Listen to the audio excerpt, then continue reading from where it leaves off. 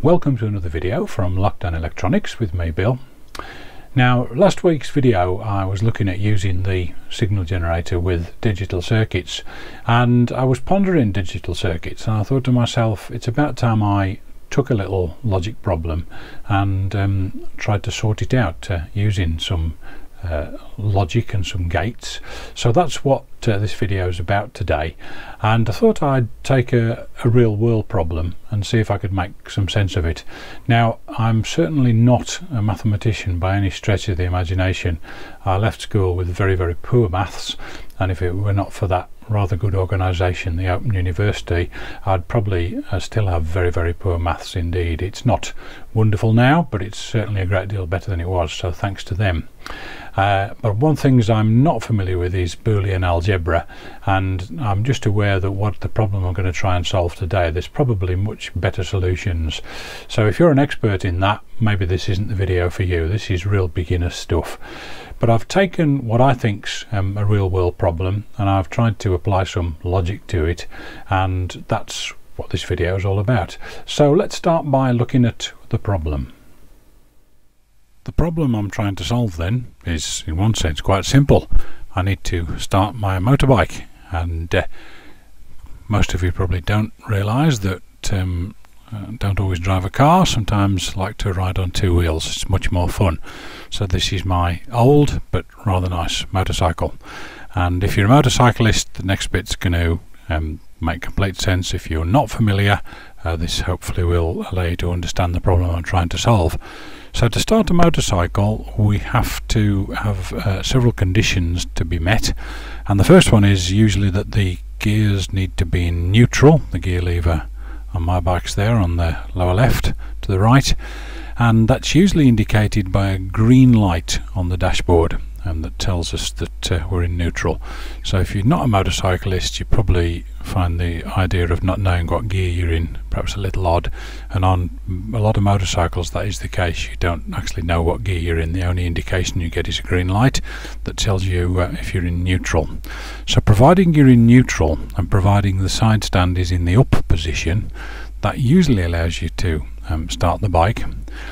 Uh, there are uh, things like a kill switch etc but we're not going to that now. Uh, but there is a, a, little added twist to this story and I've quite often seen this starting a vehicle problem in electronics books usually applied to a car. But on a bike there is a condition where you can uh, start the bike if the um, engine is in gear as long as the side stands up. And that is if you pull the clutch in. Certainly that's the case on my bike and that would allow you for instance to uh, if you stall the bike would allow you to quickly restart it um, and uh, pull away smartly without having to go into neutral and uh, uh set your feet again like that.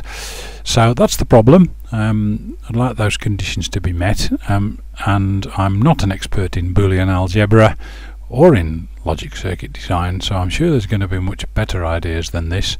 Um, however this is my uh, real beginner's solution. So what I've got essentially are um, three gates. I'll explain why I've got three and not two in a minute. Uh, feeding a MOSFET and that hopefully is going to simulate um, the circuits you might come across on the motorcycle. So what we've got is on the left gearbox neutral indication. Again if that switch is made uh, then uh, the gearbox is in neutral. Um, clutch lever switch. If you pull the clutch in it engages the switch. And thirdly the side stand the switch will be engaged if the side stand is up. So I've just gone for what I'm going to call positive affirmation here. Um, the conditions that you want to be true are all true and indicated by a, a logic level high. And I've got uh, the pull down resistors there to set everything in a low state otherwise. Um, across on the right I've got a, a, starter button on the lower side of that uh, MOSFET. And to simulate the starter mode to solenoid I've got a white LED and that LED will light provided the starter button's pressed and the input to the MOSFET is also um, uh, enabled it to be to be switched on so, uh, how does my solution work? Well, um, first of all, I start with an OR gate, and uh, the inputs to that OR gate are the gearbox neutral indication and the clutch lever. So, if the gearbox um, is not in neutral and the clutch lever is not pulled in the output both inputs are low so the output will be low however if the gearbox is in neutral um, and whether the clutch lever is pulled in or not the output will be high and that's the case. Um, wouldn't matter whether you've got the clutch pulled in or not. Um, the output's always going to be high. Uh, that then feeds into the next gate which is a NAND gate. And the truth table for a NAND gate looks like that.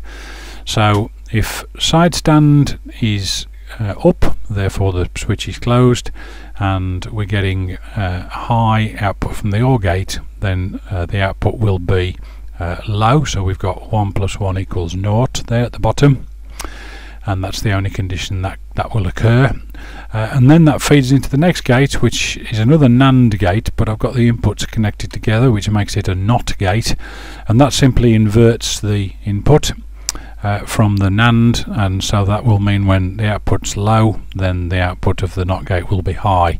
Uh, and thus that provides a voltage to the um, gate of the MOSFET and if we were to press the starter button then uh, the LED will light uh, which simulates the starter motor starting.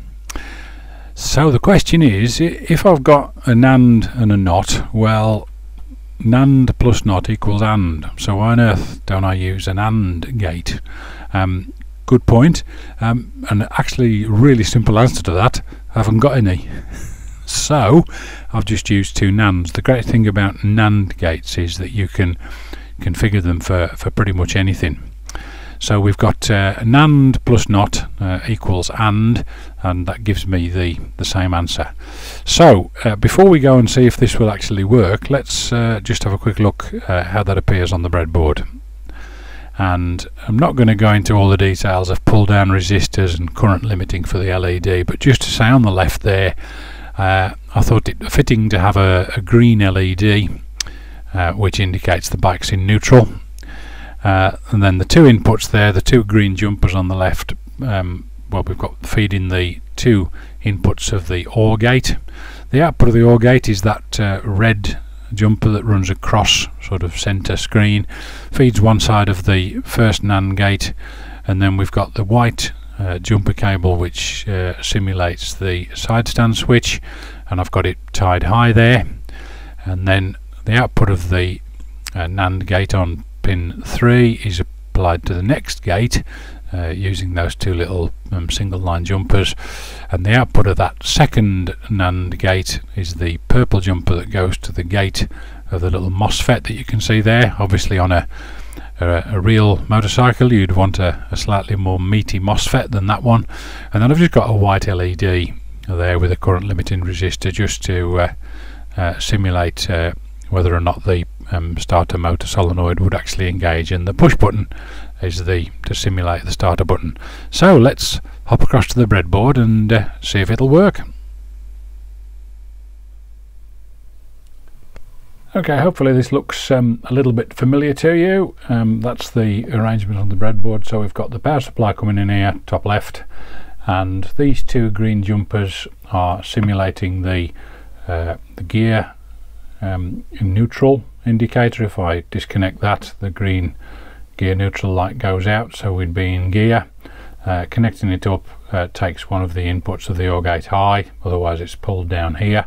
And then this green jump here is the clutch lever, so whether that's in or out shouldn't matter. Um, whether it's whether it's low as pulled down or high there. So for a moment I'm going to not do anything with the clutch lever. So bike's in neutral, clutch lever is uh, just uh, left, so it, the clutch is engaged. And here we've got the um, this jumper simulating the side stand switch pulled low there but if I take it high that should mean that when we press the starter button we do indeed get uh, an indication on the white LED there of uh, engine start. So that's okay. Now while I'm holding the starter button down which obviously I wouldn't do in real life for very long if we take off the side stand switch that immediately goes out. Um, and, but as you can see whether or not the clutch is engaged or not as long as the bike is in neutral we do get a okay to start indication. And let's say it was in gear um, so it's in gear so starter switch um, is disabled effectively. But if I now pull the clutch lever in like so that should allow the engine to start as indeed it does. So um, doesn't matter whether we pull the clutch in and the gear is in neutral doesn't matter um, we're still going to get a high output off the OR gate uh, which gives us a, an OK to start indication but doing all that makes no difference to the side stand. If the side stand is down then the bike won't start. So there we go. That's um, the arrangement. Uh, and as I said earlier uh, I ain't an expert on logic circuits and so uh, I actually quite enjoyed trying to solve this uh, uh, relatively simple but uh, I thought quite interesting problem. So there we go. Now I used this NAND gate that's actually four NAND gates on that chip. I used that uh, chip to simulate an AND gate which is what I needed because I don't have an AND gate. And I did um, mention earlier that the NAND gates are of course universal gates. So a little opportunity here to um, see if we can simulate an OR gate with an AND gate. So here's a, a, little graphic that shows you the arrangement. So we use three NAND gates arranged like so and that uh, the two inputs on the left are the two inputs two inputs to the OR gate if you like and the input on out sorry the output of the right hand NAND gate would be the output uh, of an OR gate. So those three NAND gates have um, simulated an OR gate. Um, that's the theory. Um, why don't we see if that happens in reality um, so by the magic of filmmaking if I might quote um, Christopher Barnatt from Explaining Computers and his excellent channel definitely worth a look and definitely worth a subscribe. Um, might I suggest by the magic of filmmaking that we add a second breadboard. Okay, so as if by magic, um, I've added just a second breadboard here and I've got uh, another 74LS uh, 00 and I've got it arranged here as uh, an OR gate as I um, talked about just now. Um, so the two gates on this lower side of the chip are the two input gates and then these two orange and grey jumpers take the inputs of those round to the third gate there. So I've simply got the output of that third gate feeding into the NAND gate and I've used a, a red jumper um, earlier on up here I'd got that red jumper across there to, to keep the colour convention I've got that um, effectively output of the OR gate going into the um, second uh, NAND gate here. Uh, I've got a jumper here which is the um, bike neutral uh, in, uh, indication here which currently it is in neutral from the green LED and this is the uh, clutch um, switch. It currently being pulled low um, because the clutch lever is uh, not touched at the moment so the clutch is engaged. So with the bike in neutral with the side stand up it should start. And as you can see indeed it does. So no change to the um, side stand indication. If the side stand is down then we won't start. Um, but we'll assume we've not made that mistake. And so across here um, if the bike isn't in neutral uh, again we won't start. But if we wanted to pull the clutch lever in we do indeed get a start indication. So you can see there that's the um, 74LS 00 which is a 4 NAND gates uh, set up using three of the gates as an OR gate and uh, you can see that um, that works just fine. So that's uh, a nice little bonus example of uh, the universal NAND gate. Okay well there you have it. Um, managed to solve the problem whether it's the best way to do it or not, I don't know, but as a bonus, we've also been able to see NAND gates used to replicate an AND and also an OR gate. Um, so hopefully that's made some sense. And one of the things that's been really valuable for me in making this video is it's forced me to really think about how I use gates. And I certainly sat with a, a sheet of paper and puzzled over this problem for, for an hour or two before I actually uh, got down to building a circuit. And incredibly, when I did build it, it worked, um, which is always always nice. So hope you've um, found it useful. Get them logic gates out and get trying things out. Some really really good way to learn. Um, thanks for watching and as I always say now at the end of these videos if you're in the market for a multimeter as a hobbyist then check out the link in the description to the Kaiweets meters. If you use the code um, that gets you a discount and it also helps the channel. I'd appreciate that.